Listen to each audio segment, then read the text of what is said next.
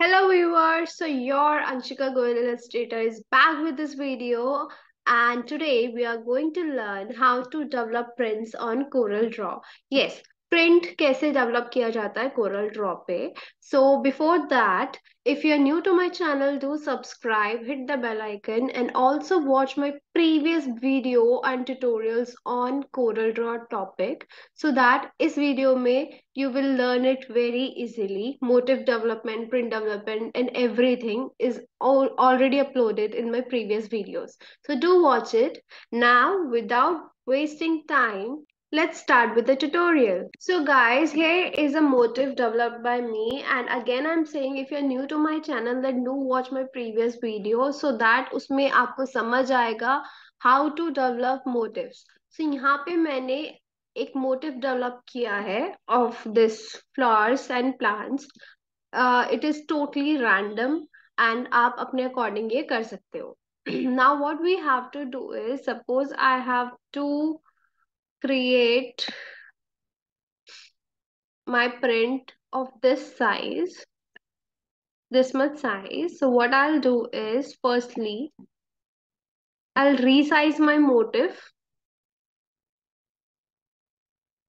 And now i'll click this plus sign on keyboard. And that then we'll randomly put this motif where I want. So I'm doing it totally random. You can also play with these uh, minor, minor keys like mirror horizontally. We have mirror vertically.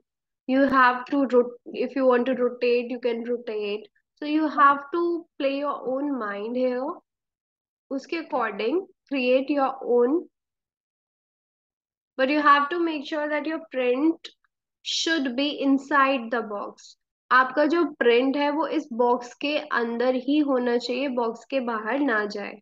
Also एकदम finished रहे, कोई cuts उसमें ना आ पाए। सो so, ये हमें कुछ बातें ध्यान रखनी पड़ेंगी। नाउ यू कैन सी यहाँ पे कुछ स्पेसेस हैं। ये कुछ एम स्पेसेस हैं। I don't want that I have to fill that so what I will do is मैं इस मोटिव को अनग्रुप कर लूँगी। Right now it's grouped I have to do ungroup and then अभी हम अलग अलग सेलेक्ट कर सकते हैं। So what I do is मैं इसको रैंडमली कुछ मोटिव्स को पुट करके अपने प्रिंट को डेवलप करूँगी।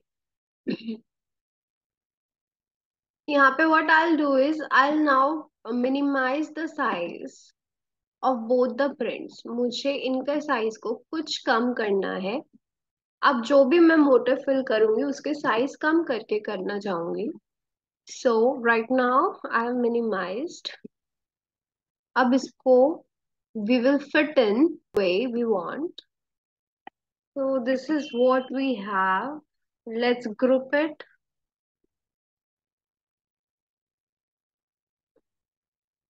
and now I'll power clip it. This is the fabric size we have. This is the fabric size we have. Now what I'll do is I'll click, group the motifs and now power clip inside this box. now this is the print, printed fabric we have now. Suppose if you want to change the color of fabric base, you can nicely put any color into the box. Again, if you want to put some editings, like you want to shift the motif, you want to, let's say, uh, minimize or maximize the size of motif, you can do same also. You can again change the base color if you want to. So yeah, here what you have to do is you have to make sure of three things what size you need to get printed. अगर आपके पास client की तरफ़ से कोई भी specific size आता है तो आपको पेज साइज़ वो सेट करना होगा देन अपना प्रिंट के मोटिव को रिसाइज करना होगा। अनदर थिंग इज़ जब हम मोटिव और प्रिंट डेवलप करते हैं सो उसमें कोई कट्स नहीं आने चाहिए सो दैट जब हम उसका रिपीट पैटर्न बनाते हैं, वो वहाँ पर कोई भी कट या कोई भी एरर ना आए। So we have to make sure from the borders, our prints are totally finished. And third thing is, उसके रीसाइज को हम ध्यान में रखें।